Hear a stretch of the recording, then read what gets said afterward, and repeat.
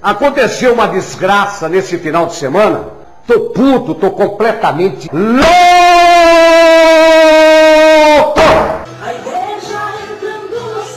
Disse que sonhou que teria filhos com um pastor. Uma revelação. Deus me levou a fazer isso.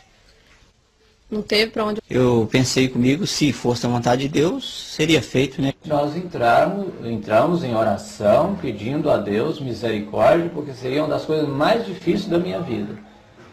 O quê? E tomar essa decisão. Pegar uma mulher com que tem marido. Pegar uma mulher com que tem marido. Pegar uma mulher com que tem marido. Eu não tô louco! Eu não tô louco! Pastor também é casado. Como explicar?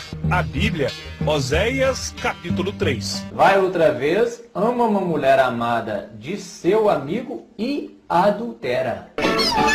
Vai outra vez, ama uma mulher amada de seu amigo e adultera. Bora! Uma uma! Vai outra vez, ama uma mulher amada de seu amigo. Sim. E adúltera. Não é adúltera? Tem um acento aqui, pastor aí. Que cabra já devia estar na cadeia há muito tempo! Vai outra vez, ama uma mulher amada de seu amigo. Sim. E adúltera. Não é adúltera? Tem um acento aqui, pastor aí. Não houve uma interpretação equivocada? Inclusive foi bom mexendo nisso aqui, porque uma coisa chama a outra, né?